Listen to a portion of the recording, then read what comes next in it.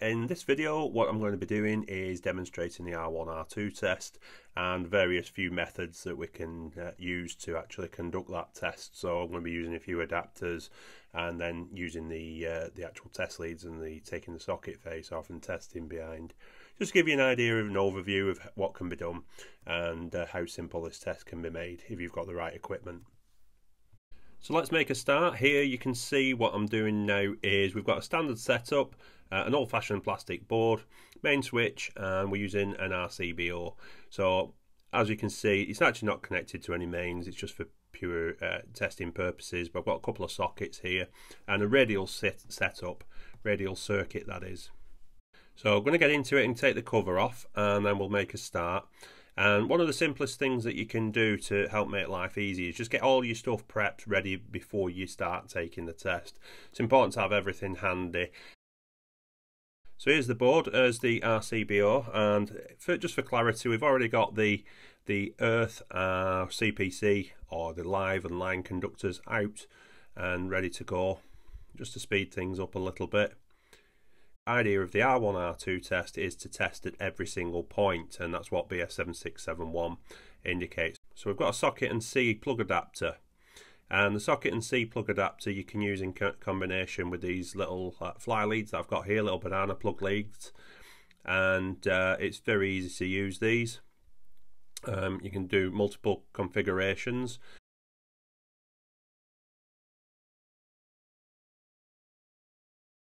and I've also made this little thing up here which is uh, a plug top with a standard 13 amp fuse in it. And obviously I've got a label on and uh, I've put a link between the earth and the live so you've got to be really careful with this thing. Uh, it'd be idea if you're making one of these make it red uh, and keep it separate to any of your other test equipment. Just make sure you don't plug it in leave it in and switch the power on. Really handy bit of kit. So traditionally you can put a link from the busbar at the top into the top of the live. Um, I don't like doing that, I'll be honest with you, um, because if you've got any parallel paths, it'll still show earth continuity all the way through. So today we're using the Megger 1711 tester and we're going to set it up on continuity test, which is the orange indicator that you can see there. Leads are plugged into the back into this arrangement as you can see. So live is the red, green is the uh, earth wire. And today we're using the crocodile clips. Just a handy tip, when you're not using them, put them on your strap. It keeps them out of the way, stops them tangling up, keeps them nice and handy. Make sure the leads are in as well and they're steady. And then if any moving about, shaking around, you've just got to keep checking that them leads don't pull out. So the first thing to do is to perform a nulling on the actual tester. So we set this up and we use the orange symbol there, which is continuity. So what we're going to do first of all is take these crocodile clips, bottom to bottom. It's really important this, guys, bottom to bottom, and you can then null the leads. I always give them a little squeeze. If you press and hold the test button, you can see the resistance is 0.06. Pressing the test button once will actually null the leads out. And by nulling, we mean it takes the resistance of the leads and subtracts it from the measurement. So you get a more accurate measurement. Now, what I'm going to show you first is the, the simplest form of R1, R2 measurement here. And I've just put my crocodile clips on the end and I like to do that like I said take them out of the board there's no pos possible parallel paths I'm going to use this adapter plug so I plug it into the first socket because BS7671 says we've got to test it every single point and I will actually get a reading at the first socket. Then I go along to the next one and I'll get a reading. And the next one and you get a reading.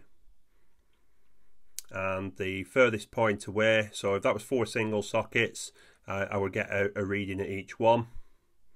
And it's the highest reading that we're looking for and all that's doing is putting a link in between each one and it's displaying a value. So as I'm going to show you here on the screen in a moment the highest reading that we've got there is 0.74 ohms and the Megger machines will all hold and retain the readings of the highest value The previous method is probably the preferred method that I use, um, especially on new circuits that has been installed. This particular method is a little bit more long-winded, but a bit more traditional in its approach, and it's using a connector block.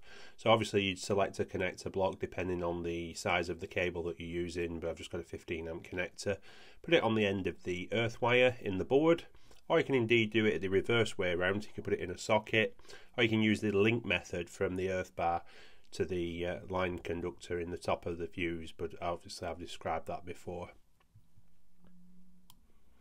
So there we go. We've got the connection in and we're ready to test. So what it's done now it's completed a circuit from the live to the earth and we're going to go straight into the end point but obviously we would have tested all the way along the circuit. So depending on how many sockets you've got if you've got 10 sockets, 20 sockets, it doesn't matter. It's the same principle for both. And I've gone to the, the back of the socket this time. One of the advantages of doing this is that if you've got an old socket face, sometimes you can get uh, a higher resistance reading. And on this one, it's 0.67. So as you can see, it's uh, it's slightly less than before, and it's a little bit more accurate because it's taking into account the uh, the wear and tear of the socket face and obviously the resistance of the adapter as well. The third option available to us in this demonstration is using this socket and C adapter with a banana plug lead. And what I'm doing here is just configuring it from the, the earth to the live, putting a little link wire in. And it's important when you get an arrangement like this that you actually null that out as part of your nulling procedure. Otherwise, it'll take the resistance of that lead in. So, as we can see, it's just a simple case. It's um, press the test button and it takes the resistance away, and we're good to go. So I'm just going to plug it into the end socket because I think you get the idea by now. And obviously, I'm just going to take the two end points, the earth and the live. And we're going to get a reading display and it should be 0.7374 which it is. It proves that we've done everything correctly. And just for clarity I'll just move it along. It's still the same reading as it's the same socket. In a double socket normally it won't make any difference whether you use left or right although wear and tear inside the socket will show a bit of a difference. You can also with this give you the flexibility to change it over to the the neutral and there I'm showing no display no reading because we haven't got continuity. So I'll take the uh, the green lead off and what I'm going to do is I'm going to replace it with the actual neutral conductor. I'm just going to swap it over onto the neutral and this time uh, I've checked my neutral to earth as well and it's not 0.73 so that's just check continuity. And everything is uh, is okay. It's not a requirement to check the neutral but it's always a good idea to do so. Many thanks for watching this video. I hope you did enjoy it. Uh, if you did please hit the subscribe button and don't forget to like the video